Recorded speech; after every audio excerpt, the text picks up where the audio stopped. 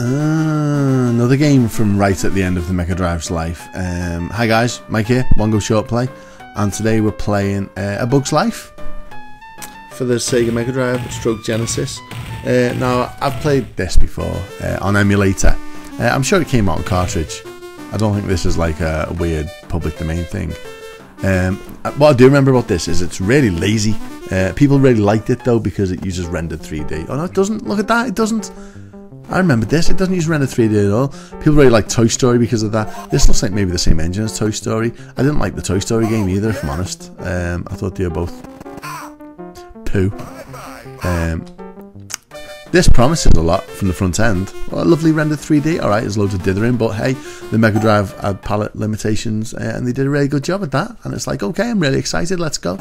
And as you've seen already, that is not what we expected. All right, it's pixel art. We shouldn't be offended by pixel art. It is the Mega Drive after all. What I'm offended by is one, two, three, one, two, three, four. At least three frames of animation to get into that duck. Really badly timed. And I know I'm always like picking on things that seem pretty random, but that is bad. You want an instant reaction, and that is not what you're looking for. Uh, it feels very, very stringy. The music's crap. That can't a swear word. I am sorry. That it, that was literally just a reaction. The music is bad. Um, if you hold B, you run. But the animation doesn't isn't very expressive. It's a bit of not very good pixel art, um, which is not in the spirit of the animation, in my opinion, which was a great bit of 3D animation. Um, was this animation that old? I think it was. Like late 90s, wasn't it? Was it Pixar? I think it was. Not Pixar. Yeah, Pixar. Was it a Pixar? Like a pre-Toy Story Pixar? I don't know. Something around that era, 96, wasn't it? Something like that. Um, this is a terrible, terrible game.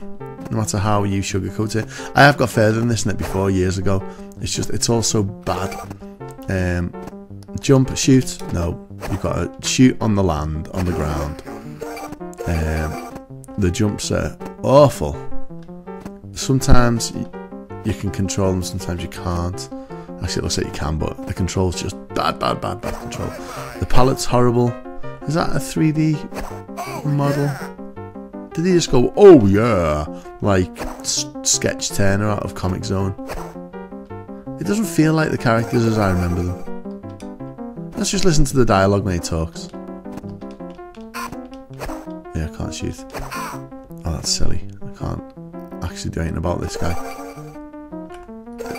I don't remember his voice being like that. Maybe I'm thinking of ants. Um, see, that's quite pretty. The animation's terrible. There's this weird imbalance with the... Oh, this weird sort of stylistic imbalance with the graphics.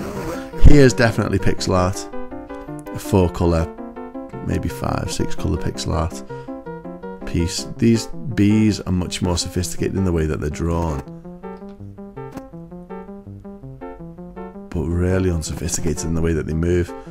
The collision with the platform environments is, it, it you know, it reminds me of um, those games that you make with reality on the Amiga. Did anyone ever um, mail order reality for the Amiga, which was a, a you know a, a competent games production package when kids couldn't program games like they can now.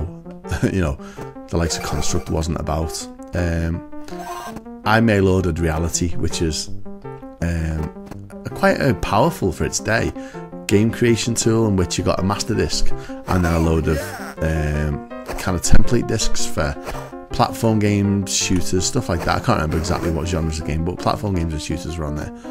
Uh, and I always wanted to make a platform game with it. The trouble is, everything I made ended up feeling very much like this. Because I don't think you could jump in that, uh, duck in that. You could obviously jump. That it would be silly if you couldn't jump in a platform game. Um, but it felt very much like this. Everything was kind of stunted. There was like delays when you were trying to do two things at once, and you know, um, it felt cheap. Um, but what they'd done with reality, considering you know what it was, was actually quite impressive. It gave kids the ability to make their own platform games. This feels like one of those platform games made by some kid. I hope all those pauses and gameplay are the actual game. I suspect they are though. because um, the other games aren't doing that when they're emulated. This is awful. This is as awful as I remember it being. Actually, I'm glad I only ever played this on emulator. I hope this is not a well loved game. It's not a good game.